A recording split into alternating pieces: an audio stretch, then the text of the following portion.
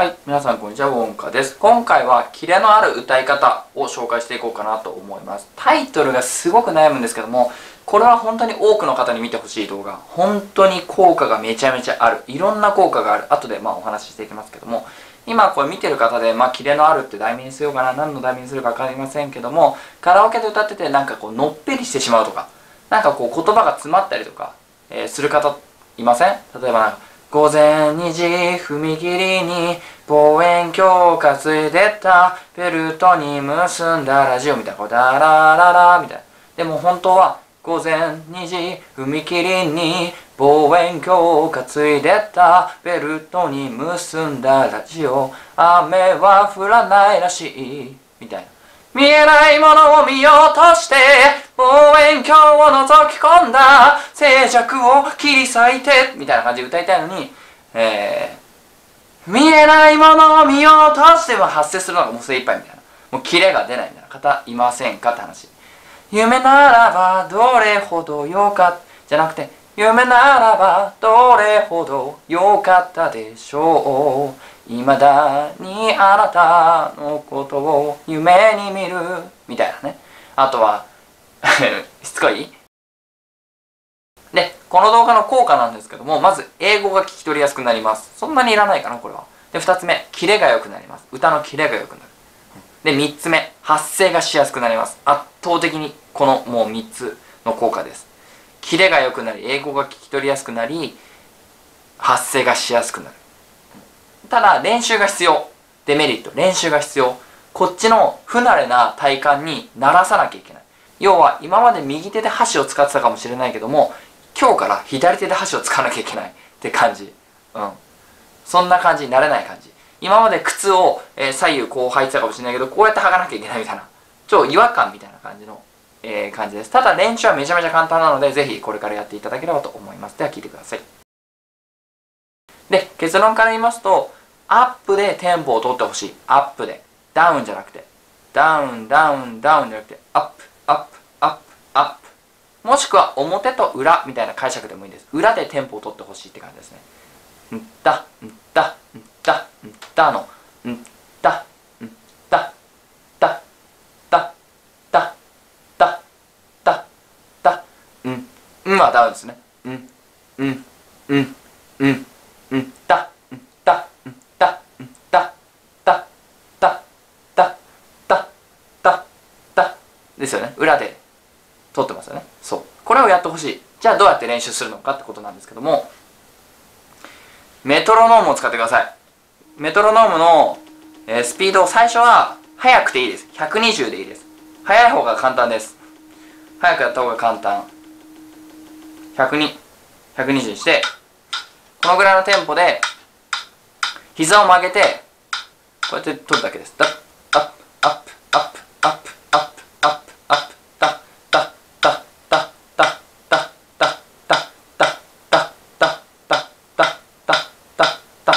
だけ。でもし速かったら20を落としましょう。このぐらい。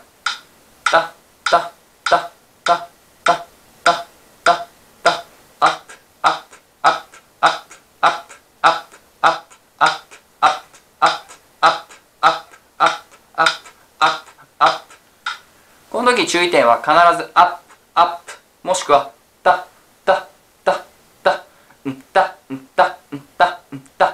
ださい。うんた、うんた。膝を曲げた瞬間に、うん。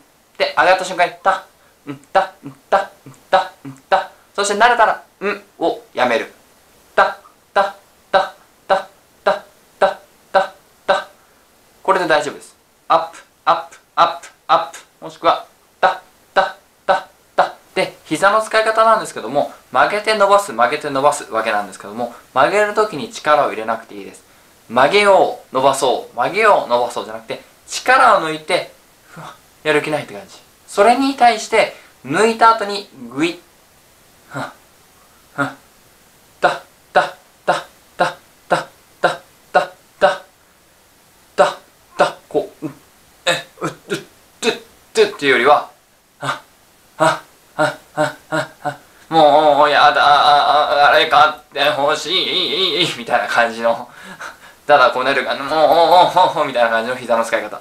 こうもうあれ買ってほしいみたいな感じにならないですよね。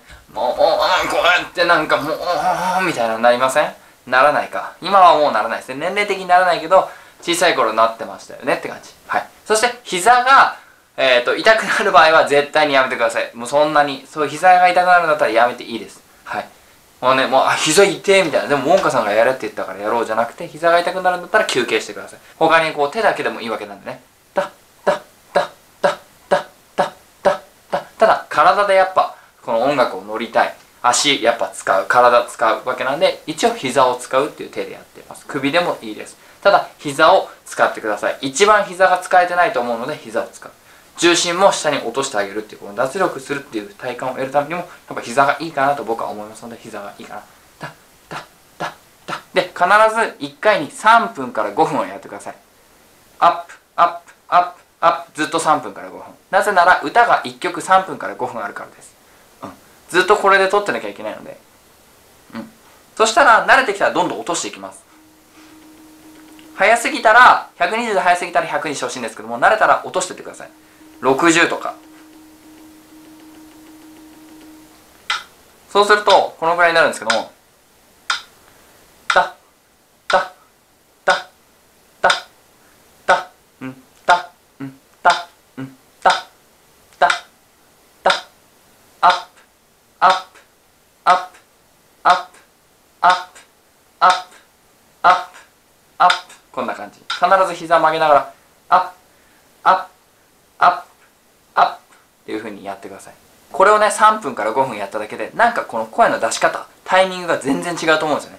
だだだだ。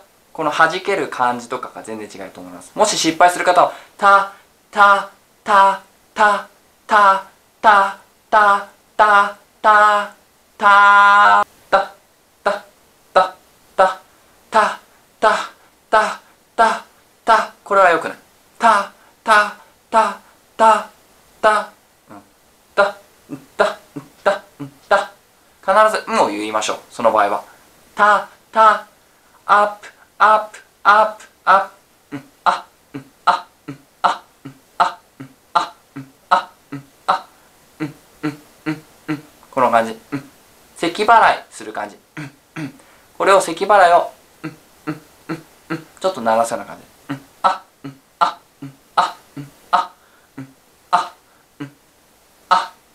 この感じの出し方を覚えていただけるといいかな。で、この説明を聞いても、やっぱね、うまくいかない。なんかこの、膝はできるし、なんかできてるっぽいんだけど、本当に合ってるかわからないし、なんか声も微妙みたいな。あー、あー、あー、あー、なんかキレがウォンカさんと違う、ね、話に多分ななると思うんですね。ここでちょっと出てくるんですけども、あの、音のスピードをちょっとお話しします。まあ、簡単な話なんですけども、あの要はダウンで撮ってしまうとかなんかキレがないって方は音の鳴ってる時間が長すぎるんですよ。ダウンダウンダウン。あーあーあー。あーあー。あー歌にするんだったらそれでもいい。怖いくらい覚えてるの。になっちゃう感じ。めっちゃ大変。息めっちゃなくなる。でもそれでもいい。怖いくらい覚えてるの。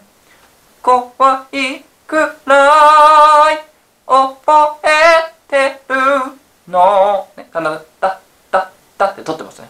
怖い。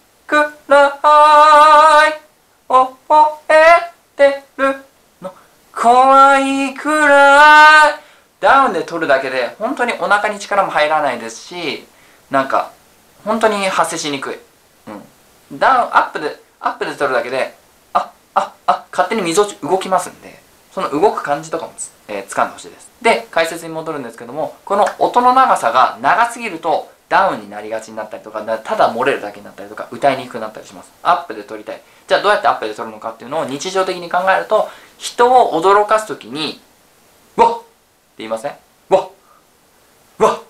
えびっくりしたでしょ？みたいなこれをわわわーとは言わないと思うんですよね。わー、わー、わー、わー、わー、言わないですね。わうわうわうわこのうわうわうわってなった時のうわパッパッって一気にこううわみたいなスピードがうわうわうわだらだらだらだらわうわこっちのスピード感を意識していただければと思います。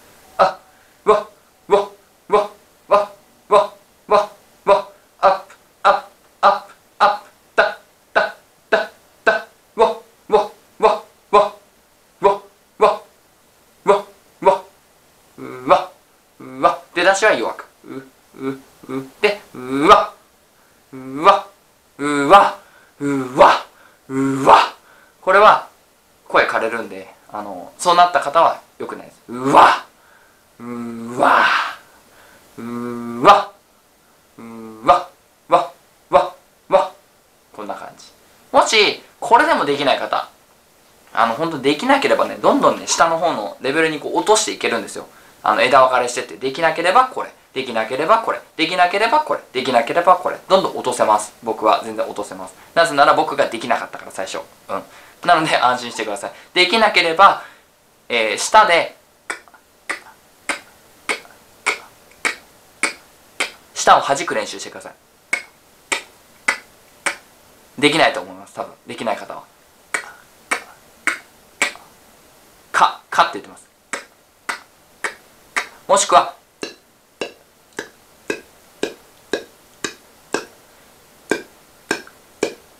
パで。これもおそらくできないと思います。弾けないと思います。もしくはパ。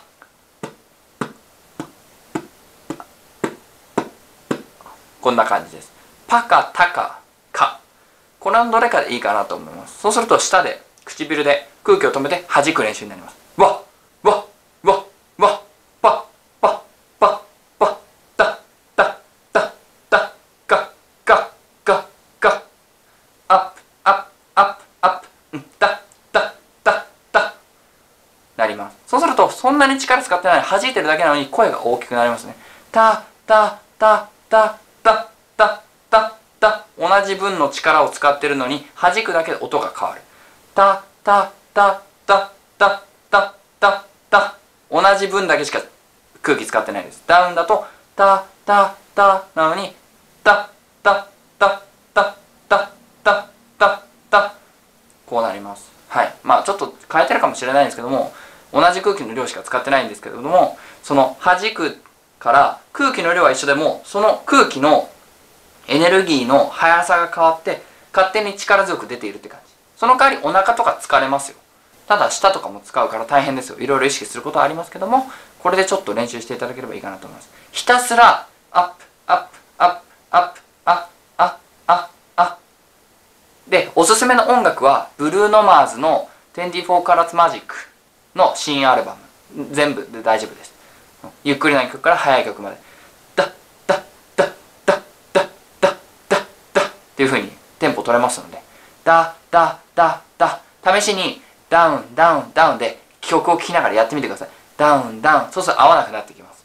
ダッダッダッダッダッダッダッダッこうやってやっていくと合うと思います。それでできるようになったらそのバンプオブチキンさんの、えー午前2時とかも午前2時踏切に望遠鏡がついてたベルトに結んだラジオ雨は降らないらしい。みたいな感じでちょっと極端にアップで撮ってあげる。それを滑らかにしていくと午前2時踏切に望遠鏡がついてたベルトに結んだラジオ。ちょっとこの辺になってくるとまたリズムの話になってくるかなと思いますが。テンポの取り方を一定にしてえそれがうまくできるようになったら歌い方をちょっと入れていくといいかなと思います。最初は全然合わないと思いますけども一生懸命やっていくと本当に合ってきますのでちょっとやっていただければと思います。そうすると発声もしやすくなりますし英語も聞きやすくなります。はい。そして歌もキレが出てきます。でなぜ発声しやすいかって話をするとこのアップで撮っているものの延長力を入れ続けることによって声が成り立っているって状況になってるんですよダウンで言う、あーあーあーでやったら、あ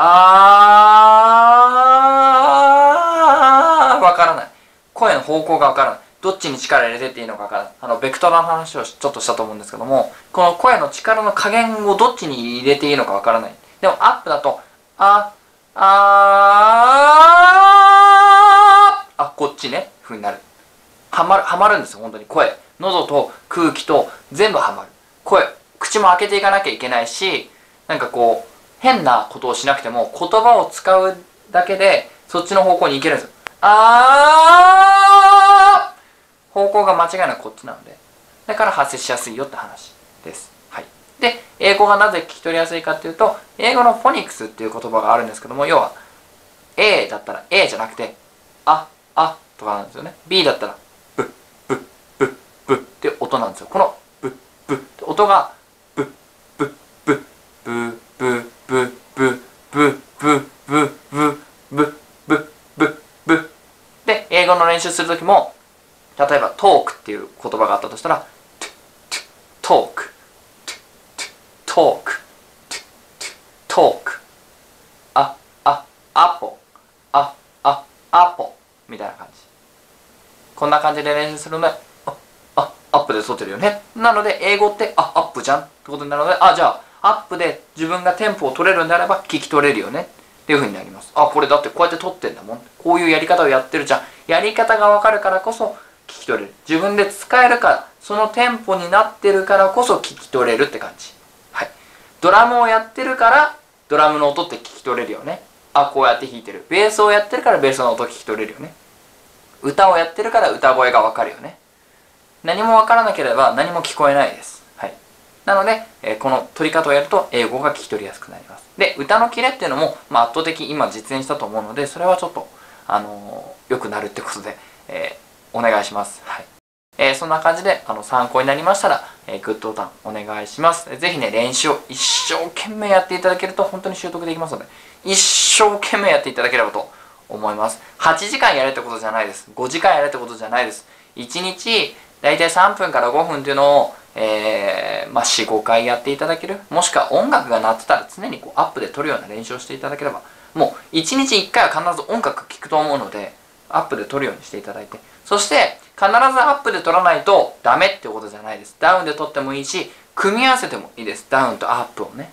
歌の中で。それは、その人の歌い方になりますので、必ずアップで撮ったら気持ち悪くなっちゃったりとかするんであればダウンで撮ってもいいし、またそのリズム、グルーブとかいろいろ入ってきますけども、一応テンポということカテゴリーだけだったらこういうお話になります、えー、チャンネル登録がまだの方はよろしくお願いします。で Twitter でも2分間でわかるボイトレみたいな動画を出してますのでぜひフォローしていただければと思います、えー、ご視聴ありがとうございました。